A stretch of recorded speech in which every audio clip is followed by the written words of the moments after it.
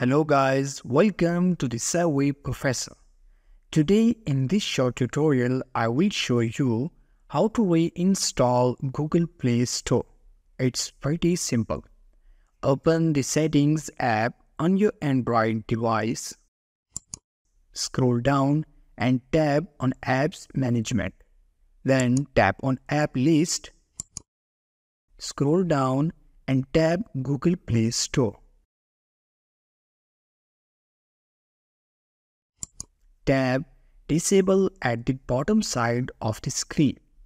Tap OK to confirm.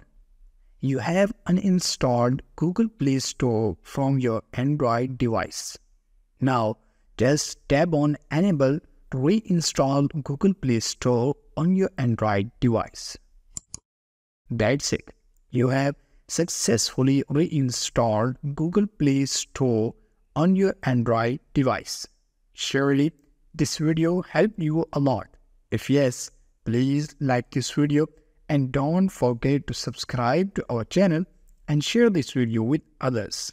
Thanks for watching.